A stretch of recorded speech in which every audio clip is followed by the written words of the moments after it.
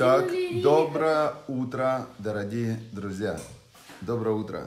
Доброе утро. Hello, шалом, bonjour. Buona sera. Buona sera, вернее, не говорят buona sera. Buona sera, это, наверное, доброй ночи. בוקר טוב. а, И на украинском. Как будет на украинском? Доброго ранку, друзья. Яков Шатадин нас смотрит, Олег Марголин, шалом, Лифименко Антон. Отлично. Мушека Мисарук, все, Мушека Мисарук, если нас смотрит. Отлично. Натали Ратнер, Яков Шатадин, шалом еще раз, Георгий Нимня.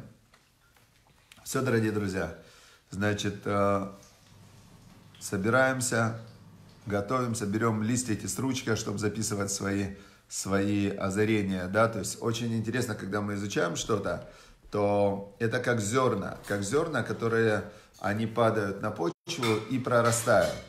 И когда ты записываешь, то есть чем ты больше работаешь с Торой, тем больше Тора, она проникает в тебя и заходит в тебя.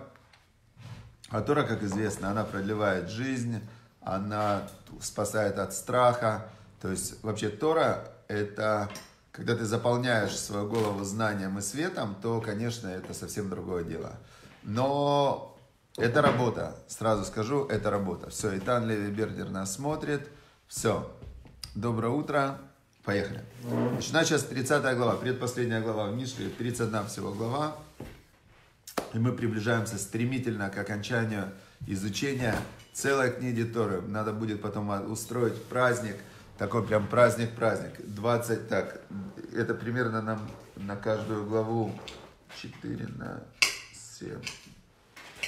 По 7 уроков, 15 уроков, как раз будет где-то 300, 15 уроков нам осталось, в общем, да? 15 уроков, где-то 2 недели с Божьей помощью, да? Ну, 2-3, может быть, недели.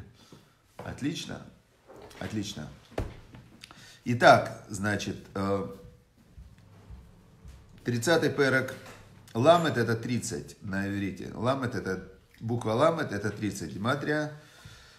Начинается очень с интересного отрывка. Диврей Агор бин Яке. Амаса, Амаса.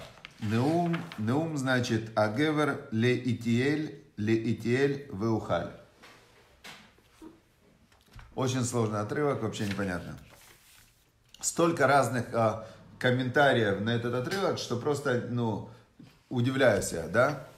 Прежде всего, слова Агур бен Яке, бин Яке. Все подчеркивают, что не бен, а бин.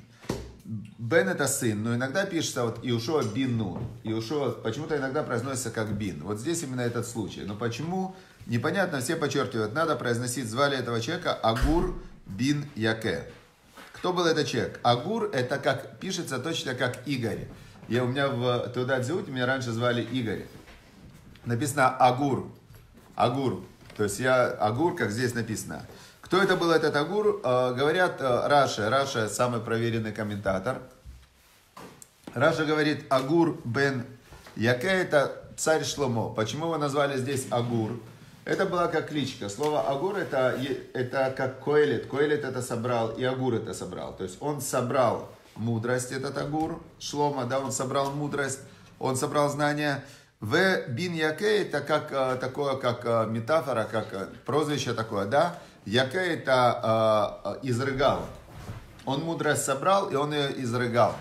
И, в принципе, все люди, они точно так же делают, только они собирают не мудрость, а просто какую-то, какие-то знания и изрыгают, потом тоже получается какие-то знания. То есть каждый человек, он набор того, что он услышал, потом у него это в котелке переваривается, и он это изрыгает. Вот представляете, да? И вот это Шлома Мелах, он был Агур бен Бин Яке, он собирал мудрость, а Маса это как пророчество, у него был уже уровень руаха койдыш, то есть он очень поднялся близко к Богу, Неум. И он говорил, Неум Агевер, говорил Гевер. То есть он был Гевер. Такой Гевер это человек мощный. Кому он говорил? Лейтелю. Какому-то человеку в своем поколении, Ителю этому. И он этому Лейтелю, он этому Ителю говорил, вы ухаль, я смогу. То есть здесь зашифрована э, жизненная ситуация царя Шломо. Царь Шломо, он был мудрейший из людей. То есть он изучил всю Тору, он учился у царя Давида, он молился Богу и достиг уровня, про который говорится Ашем нотен хахма, Бог дает хахму, божественную мудрость. Мипив дату твуна, из его рта как бы от Бога. Дат – это постижение мира, ветвуна – это логика. И он был мудрейший из людей. И он сказал, я вижу суть всех заповедей Торы, я все знаю. Вы ухали, я смогу пройти по краю и не упаду. То есть он вместо того, чтобы жить как простой человек и, и остерегаться всего, да, мудрецы попозже уже, правда, они через много лет после царя Шломо поставили ограду для закона. Но он решил так, если я знаю суть каждой вещи, ну что, что Бог сказал царю, не умножать жен и не умножать коней. Это он сказал обычному царю, подумал царь Шломо. А я, я же не обычный царь, я мудрейший из людей. И я пойму, и как с женами разобраться, и как много коней иметь. И я все везде, в любой ситуации. То есть он очень понадеялся на свой ум. И сказал он этому Ителю, и смогу я. И смогу я, он сказал. Смогу. Я смогу. Это как Яша в детстве, когда был маленький, у нас сын. Ему вот, он говорит, дайте мне три куска торта. Мама говорит, это же много тебе. Он говорит, я смогу. То есть есть люди, которые они надеются, что они смогут. И царь Шломо надеялся, что он пройдет по краю. Значит, Кибара Нахимы Иш Вело Бинат Адам Ли. Теперь здесь как бы второй отрывок не, не вписывается в первый вообще, в то объяснение, которое я дал. Потому что второй отрывок звучит так. Кибара Нахиме Иш. Я, бар это как бейма, как это есть человек, который вообще ничего не знает. То есть он не знает про Тору, про духовность, про что. Он называется бар, это как, э, ну такой Амарец, ну простой он вообще, он, не, он про духовность ничего не знает, вообще он живет такое животное, да, то есть он разговаривать умеет, но он разговаривает все время только о том, что поесть, где поспать, и, и все, его больше ничего вообще не волнует, духовности ноль, это бар, и он им говорит, кибар анухими иш, что я, я как бы такой необразованный, я меньше, чем человек, вломи бинат адам ли, и нет у меня... Э, Бина это вот это вот качество, бина это логика, понимать вещи из вещи. И нет, нет у меня человеческого понимания, и логики у меня тоже нет. Вот это непонятно. То есть, с одной стороны, первый отрывок объясняет, что царь Шломо объяснял что-то Итиэлю, и он ему говорит, что я смогу пройти по краю, там, я самый мудрый. С другой стороны, второй отрывок, он говорит, я ничего не понимаю. Может быть, нам третий отрывок подскажет. Велола мати хахма, он говорит ему, и не учил я хахму, не учил я э, мудрость, значит, не учил я мудрость, хахма это божественная мудрость. То есть каждый человек оперирует какими-то аксиомами, да, вот исходные предпосылки. Вот, например, рождается человек, что он знает о мире? Только то, что он видит и то, что ему скажут. И у него есть некие исходные предпосылки, а какой мир? Вот ребенку скажи, мир плоский, он скажет, отлично. Скажи, мир круглый, отлично. Квадратный, отлично. Треугольный. Ребенок, ему все равно, какой ты ему не скажешь мир, он откуда? Он же видел мир, он в космос летал, он обошел Землю по кругу или проехал. То есть каждый человек оперирует какими-то аксиомами, которые ему дали другие люди, которым он доверял в детстве. Да, исходные предпосылки. Теперь э, хахма, божественная мудрость, это от Бога. То есть, представьте, кто нам сказал, что Земля круглая? Кто сказал? Космонавты. То есть, для того, чтобы увидеть, что Земля круглая, надо слетать в космос и оттуда посмотреть ее, сфотографировать. Теперь, но как человек может увидеть законы мироздания, когда он, вот представьте, говорят, там Маше придумал Тору, Маше Рабена придумал Тору. Ну как он мог придумать Тору? Шесть дней творения. Он говорит, вначале Бог сотворил небо и землю, там под, все было то вово хаос был. Но откуда человек, который живет в Египте три тысячи лет назад, и видит он перед собой только пустыню. Вот что он видит перед собой? Пустыня, э, тогда еще не было пирамид, и все, и Нил течет. Как он может знать, что когда-то Земля была на зарождении Вселенной, Земля была то была хаосом? Он не знает. Откуда он знает порядок, в котором появлялись животные? Бог, О, то есть Бог, тот, который все это сотворил, он дал хахма, это божественная мудрость, он дал через пророков. И Муше Рабейну, главный пророк, он поднялся выше, выше, выше всех пророков. И он своим восприятием, он как бы соединился с Богом. И он как увидел, понял, записал на себя. То есть у него появились вот эти вот аксиомы, как работает мир вообще. От кого? От того, кто мир создал. И он потом в Торе эти все аксиомы передал. Вот это называется хахма, божественная мудрость. Теперь человек, человек э, у него в, в интеллект попали эти исходные предпосылки. И он дальше думает, что с этим делать теперь. И у человека есть внутри такое качество, которое называется которая называется бина на иврите. Бина от слова «строить». То человек, получив какие-то исходные предпосылки, какие-то принципы, по которым мир работает, какие-то знания, там, круглая земля, квадратная, плоская, там, люди хорошие, нехорошие и так далее. То есть он, получив вот эти кубики, пазлы, он начинает строить свой мир. Он, он их соединяет, это называется твуна, это обобщение, то есть человек работает в обобщениях. Какие люди? Кто умнее, девочки или мальчики? Девочки. Девочки говорят, что девочки, мальчики, что мальчики. Но это вообще, э, это такое обобщение. В мире живет 3,5 миллиарда девочек, 3,5 миллиарда мальчиков. Кто мерил их хоть раз? Что, что такое умнее вообще? Умнее слово, пожалуйста. Значит, э, это все обобщение. Человек живет в иллюзорной картинке, в которой он, взяв 1, 2, 3 факта, он это обобщает в какую-то идею, которой он сам верит. Это обобщение. Это качество называется мозга твуна. То есть он соединяет фрагменты в одно целое. Теперь а, мы берем, например, человека спрашивает, ты кушать любишь? Люблю. Или не люблю? Это обобщение. А ты спрашиваешь, а что ты больше всего любишь, а что ты не любишь? И ты начинаешь вытаскивать из этого обобщения фрагменты. Потом фрагмент ты дальше можешь еще фрагмент, еще фрагмент. Это называется качество ума бина. Теперь, а, значит, говорится во втором отрывке Тибар Анахи Меиш Вело Бината Дамли, что я, ну, как бы, Бер это тупой такой, да, что я тупее человека, то есть я по уровню развития ниже человека, и нету у меня бината дам, нету у меня человеческого этого качества лодити, у меня нету. Велола матти хахма. И не учил я исходные предпосылки истории. Я не учил вот то, что из пророчества можно только получить. Узнать, что такое добро, что такое зло, а, зачем жить и так далее. То есть это все только можно было от Бога получить. А, Велола мати хахма, ведат к душим и да. Он говорит, и а, познание святых я узнаю. Теперь как дальше идет? Вот человек получил исходные предпосылки. Хахма, божественная мудрость, Тора. Дальше он начинает развивать свою логику, и он учится причина-следствия, причина-следствия, делать выводы. Он разбирается, как вся система работает, как работает его интеллект. И у него в итоге появляется даат. Даат – это цельная картина мира, которая выстроена очень точно. Потому что она на правильных исходных предпосылках, она на четкой работе мозга, причинно-следственной связи, умение раз, разрушать обобщение, выделять детали, осознавать, что все вообще, с чем ты, э, с чем ты вообще взаимодействуешь, это, это просто история. Человек живет в истории, он как бы, любое слово это не является тем понятием, на которое это слово указывает. И тот, кто это осознает и понимает, у него появляется дат, познание. Он реально начинает воспринимать мир, в котором все нереально.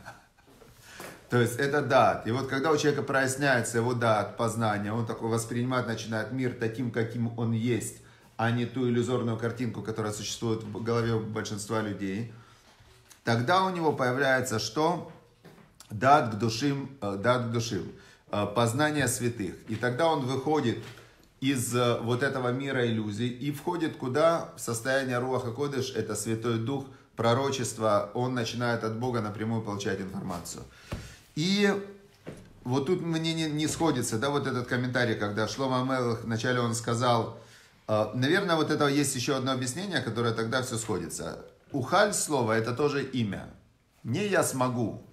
А если он объясняет вот этому Итиэлю и Ухалю, двум людям, есть такой комментарий, это комментарий, что их звали, двух человек так звали. Одного звали Итиэль, а второго Ухаль. Сейчас я скажу, кто это сказал. Это сказал не Раши, а это сказал Ибн Эзра. Деврей, а бы Шломо Олег Бешрой да. Ибн Эзра вообще говорит, что Игор это тоже не Шломо, это какой-то другой человек. Что был какой-то человек умный, который был учеником Шлома Амелаха, и он объяснял двум людям, которые уже его ученики. И тогда весь этот текст вообще по-другому. То есть первый отрывок. Игор Бентия это был ученик Шломо по Ибн, по Ибн Эздре. И он говорил э, двум другим людям, своим современникам, Ителю, и Ителю, и Ухалю. Потом к нему подошел еще какой-то Ухаль. И тогда этот текст сложится. Он ему говорит, послушайте, я не образованный человек, у меня нету логики, я не учил божественную мудрость. И, то есть это он скромно так начинает. Великие мудрецы, вот в Торе принято самые великие умы. Они говорили, начинали свои великие книги с такой фразы, там, или комментарии свои, они так говорили, «Лифи они юдаати», по бедности моего ума. То есть очень принято в религиозном мире быть скромным. То есть быть скромным, потому что Бог сказал про Маше Рабейну, самого великого пророка, что Маше Рабейну был а, Анав Миколь Адам, самый скромный из всех людей. У него не было его анохиюта, у него не было его эго. И вот это эго, если убрать, тогда тебе открывается реальная картина мира. И это очень крутая такая вещь, э, как бы, ну, я не буду сейчас туда уходить, у каждого человека есть самый главный рассказ, который его закрывает от Бога, это рассказ о себе, что я отдельно от Бога. И вот эта его история, представление, что я отдельно от Бога, она его от Бога и закрывает. Это э, сказал это Баль Шемтов. Был такой основатель хасидизма, и он говорил на отрывок, что «Анохи умет бенашем убейнайхем». Он говорил «Анохи» – это вот это вот «я». Когда человек говорит «я» – это то, что его отделяет от других людей, от Бога. «Я» – это, это иллюзорная граница. Это мое. Кто сказал, что это твое вообще? Вот человек сам себе и сказал, что это мое, и оно в этот момент стало его. Но если он себе сам не сказал, что это мое, то чье оно? Не его. Вот эти вот все определения, это как, э, как стена такая. Вот. Теперь дальше. И вот смотрите, что дальше у нас складывается. А, и он продолжает этот а, Игор, Игор этот, да, Игор бин Яке, он продолжает. Ми Алла Шамаем, он говорит, кто поднимался на небо? Вейрет Мей. Вейрат. А, кто поднимался на небо и спускался? Ми Асаф Руах. Бехафнав. Кто говорит, э, ветер в Ахапте складывал. Да, кто это вообще? Ветер в Ахапте складывал. Кто Мицарар Маем Басимла? Он говорит, кто собрал воду в платье? Можно воду в платье собрать? Оно выльется. Выльется. Ми и Тим Коль Авсе Орец. Кто установил все, все вообще установки земли? Машмо ума Шембно. Он говорит, где имя его и где имя сына его? Киты да, пойди узнай, он говорит. Что имеется в виду? Он говорит, послушайте, вы лезете, говорит, своими вопросами, они ему задали вопросы о Кабале, вы лезете в те вещи, которые, подумайте, кого вы понять? Вы хотите понять Бога, который, который сделал весь мир, вы хотите понять Бога, который море, например, как море не разливается. Представьте, шар Земля летит 30 километров в секунду по миру. Представляете? И море не разливается. Море в, в песочке, за вот так вот, вокруг там моря песочек, море никуда не выливается. Как море не выливается? Как сделать так? Почему Земля, она крутится, ее наклон, там ось не меняется? То есть кто, кто установил все эти законы? Он говорит, вы хотите понять того, кто установил все эти законы? Вы вообще, ну, вдумайтесь, куда вы своим мозгом лезете? И когда человек пытается понять, там, Кабала, вот, э, Маасе Берешит, э, когда, как был сотворен мир, как Бог сотворял мир. Маасе Меркава, как он, как он миром управляет. Он говорит, куда вы все лезете? Зачем вам это надо? Вы со своей головой разберитесь, со своей жизнью разберитесь. Разберитесь со своим маленьким миром, в который человек пришел, проходит свой жизненный путь и уходит. Научитесь понимать хотя бы, что рядом с вами находится. Да? А это как раз вот ответ здесь в этой главе. Я вчера разговаривал с одним парнем, он ученик там, с одного из самых э, каббалистов последнего времени, вот, который жил, Рамоша Шапира. И он у него много-много лет учился. И вот мы с ним разговариваем, а Рамоша Шапира, он был, э, вот я несколько раз был на его уроках, он, значит, это был человек, который вот так вот он глаза закрывал, и он заходил там куда-то туда, вот в эти высшие миры. И он прямо, он оттуда, прям он так говорил, он прям доставал, и он пытался это все, которые слова, они очень